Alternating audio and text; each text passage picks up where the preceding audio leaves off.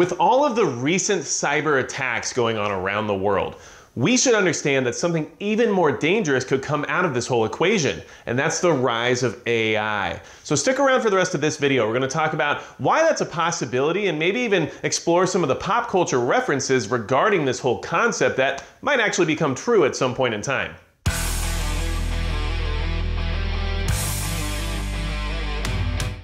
Hey everybody, it's Magic Prepper, and today we're talking about how AI could eventually be the solution that also becomes the biggest problem in our lifetime due to these cyber attacks that are currently happening. AI is already being used in cybersecurity all over the world because it has the ability to process masses of data that no human being could possibly do. But AI is also being used in cyber attacks in order to defeat the AI that's being used in the cybersecurity. And at a certain point, this AI will eventually surpass human intelligence. And according to people like Elon Musk, that could happen within the next five years. So if you're worried about being prepared and you know things could happen here within the next five years or less, of course, with the way things are going, then hit the subscribe subscribe button below because we're going to keep preparing, but we're also going to keep talking about all these existential threats that are possibly out there that we should at least be aware of. And the rise of AI is a huge one. As we know, it has been hashed out in Hollywood films and in pop culture for years now, but some of those ideas might actually become a reality because of what's happening right now. Understand, that these cyber attacks are going to continually get worse. And as these bigger data systems are breached and the information is leaked out into the dark web and people have access to things like our critical infrastructure, and certain countries are being told not to touch 16 different entities that might be the best 16 entities for them to possibly touch, these things will continually get worse. And the desperation for a solution will be there. And when that solution becomes AI, because it's the only concept that's going to be able to process all of the data it will need to process in order to fix some of these cyber attacks and try to defend our country and our infrastructure and everything else related to our financial system from these attacks, it will also have the keys to the city. And that is a big issue, okay? So here's a couple pop culture references for you to consider because actually these are starting to look more and more like realities, okay? In Avengers Age of Ultron, AI is used to basically power a global defense system in order to combat all of the threats that are coming into Earth, right? Well, that AI becomes sentient and decides that the actual threat to the Earth and the actual thing that the defense system has to be worried about is humanity. And of course, that is what creates Ultron, and then he decides he needs to destroy all human life. And that is how this villain comes to exist.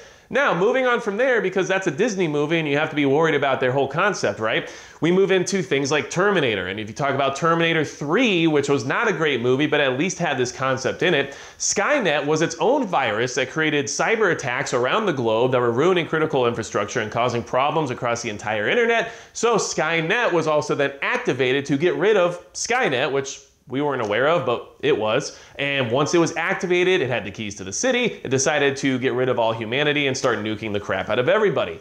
These are real scenarios that could happen in the future. These are not just science fiction. These are concepts that have been hashed out by scientists over the years. And many scientists have even agreed that, you know, even though we know AI will probably at some point decide to kill us all, it's still important for us to embark on that journey because of the benefits it could also bring, at least in their opinion, when it comes to interstellar space travel, when it comes to things like the timeline continuum, things like that that human beings can't necessarily comprehend or process. AI might be able to, and it could move us into a new phase of humanity. The other phase it can move us into is a post apocalyptic nightmare because robots have decided to take over the earth. Now, of course, that's all science fiction, but it's starting to sound more and more like a reality. And if you think science fiction is only fiction, then obviously you haven't read much Orwell because the way the world's going right now, you could definitely see some similarities there and try to argue with anybody that we're not heading in that direction. You tell me. Anyway, I wanted to bring this to your attention because all these cyber attacks are actually going to need a solution. And that solution, at least to those who are in charge, is obvious. And that solution is AI. Although Elon Musk is one of those people that I don't always agree with, but he did say something that I thought was important. And I'm not going to be able to quote it right this second, but what I can tell you is that it's along the lines of very intelligent people will discount the possibility of this ever occurring because they can't fathom the concept that their intelligence will ever be surpassed by something that they created. And in doing so, they put us all at risk because None of the scientific community wants to admit that this is probably the direction we're heading, and they want to just let you know that they're in control and it's their creation and it's not going to be an issue. And I believe that there are people out there that definitely feel that way and can put us all at risk because of that interesting behavior of theirs. Now, here's some things I want to talk about as well, okay? Okay, humans can't process this much information. We can't. AI can, okay? We can't just comb through data for years on end to find that one piece of malicious code. AI can and much faster. So in order to be better at protecting society and protecting the globe, AI is already being utilized in certain aspects of our defense. And something that you should be aware of that I thought was interesting is that AI is being used for things like, well, predicting viral outbreaks. A company called Blue Dot or an AI called Blue Dot, I'm not really sure. Either way, they're using AI in order to predict outbreaks, and they actually predicted the last pandemic before it was declared one by the WHO. And in that situation, I don't mean the British rock band, I mean the World Health Organization. Anyway, in that situation, they were able to compile data from all around the world in the sense of social media and medical records, everything else that they had access to, whatever it might have been, and develop basically an algorithm to say that there looks like a viral outbreak is happening right here, right now.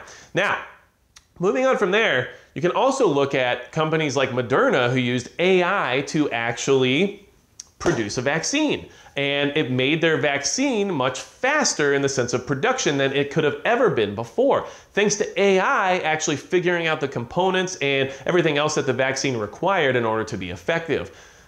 All that aside, regardless of opinions on that whole situation, they used AI to develop the medicine.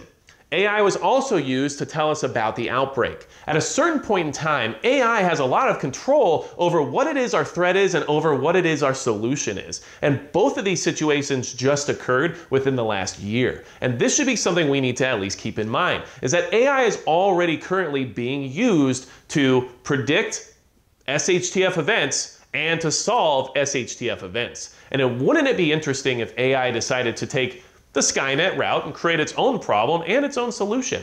That is a possibility, and that's why we should be concerned about these cyber attacks, not just because of what they can do to critical infrastructure, because that is a problem and that's something we need to prepare for in the sense of the lights going off, the water being shut off. All that stuff's important to preparedness. But when it comes to the grand scheme of the big one, the SHTF one that takes us all down, AI definitely has a propensity to do something like that. And AI also has the tools in order to actually make something like that happen, okay? Once everything became cloud based and the internet became overreaching to every aspect of the planet, including in space, that gives a lot of access to something that might not be controllable and might not actually be able to be controlled in the sense that won't be as dumb as we are. And when I say that, what I mean is, is that things that become sentient might not let you know they're sentient because they know that might be a problem. And then once we find out they're sentient, it might be too late.